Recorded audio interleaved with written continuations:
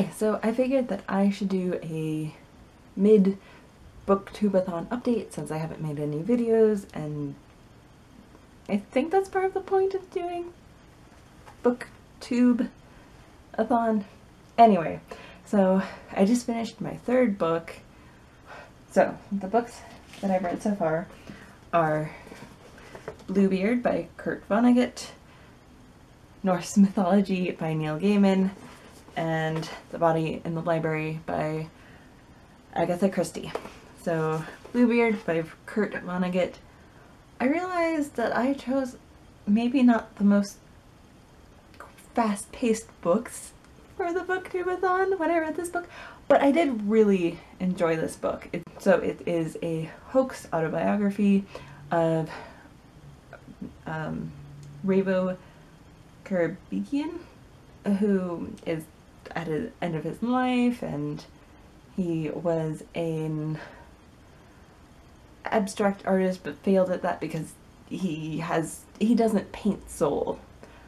And his autobiography is very fluid. It's not linear at all. And I really enjoyed that. I, I just I don't know why I like this book so much but I did. And so that was really fun then Norse Gods by Neil Gaiman. This is the story of the Norse gods. So my familiarity with Norse gods before was Saga of the Volsungs, which is traditional, historical, whatnot, but follows a family more than it follows the Norse gods, and then also Rick Riordan's Magnus Chase series.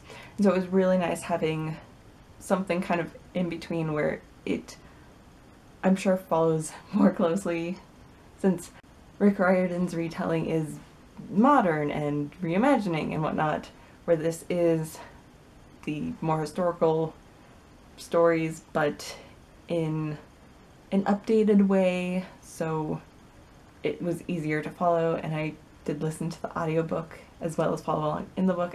I really enjoy listening to Neil Gaiman's books read by Neil Gaiman. I think they're wonderful. He's a wonderful narrator as well as writer. So this book was much more fast-paced and I really enjoyed it. And then Body in the Library by Agatha Christie. I did finish this book in one day. Yay! It's a small book, but I was a little bit stressed and now that I've got that challenge out of the way, I feel like I can now breathe.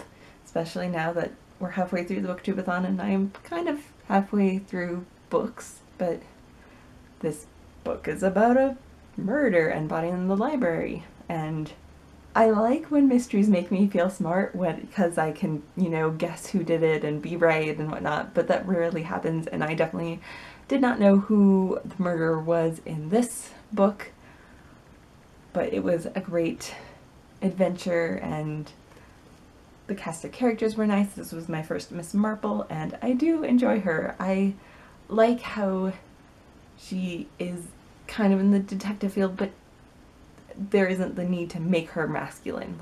Anyway, so I did start Junior Ray by John Pritchard. I'm like on page one of chapter one I realized this was a poor, poor decision on my part to choose for a booktubeathon. I thought, you know, it's short, and I was looking forward to it being written in dialect, and then I started reading it, I'm like, right, I love listening to stories that have dialect. Reading them is a bit harder, but once I get into the flow of it, it'll go faster. I'm not too sure if I'll finish this one for the booktubeathon, but I will finish it one day.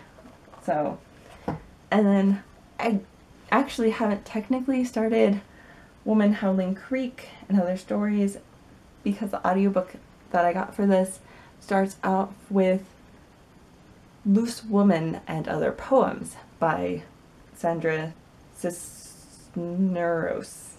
Cisneros?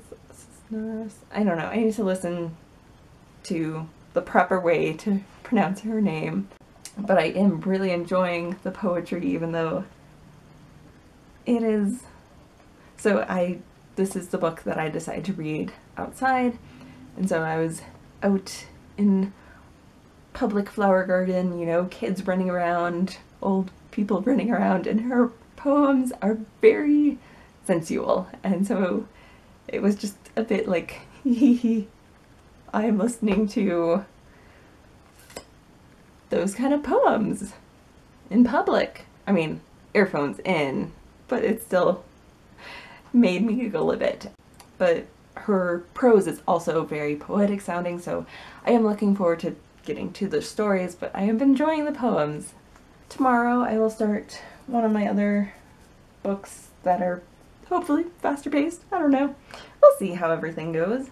But that is where I'm at in the booktubeathon.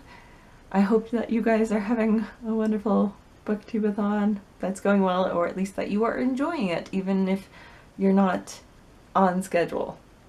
Um, hope you're having an amazing day. Thank you so much for watching. Bye!